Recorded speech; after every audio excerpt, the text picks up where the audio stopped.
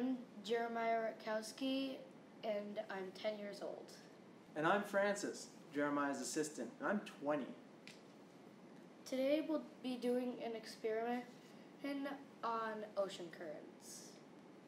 Now for this experiment, we're going to need only a couple ingredients. This one's super easy. What do we need? All we need is a straw,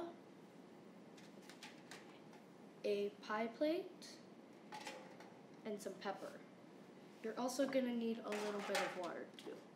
So first you're going to cover the bottom of the pie tin in a small layer of water, just enough to cover it. Then what you need to do is you need to take the pepper and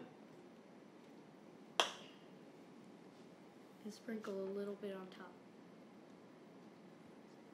The next step is we take the straw and we gently blow on the top of the water. So the straw represents wind, but how does wind actually occur on Earth? So it all starts with the sun. So the sun like lets off heat towards the center of the equator. And then that air rises because hot air rises and goes over the poles where it's cold.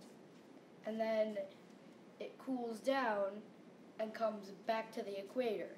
And all that like air movement creates wind.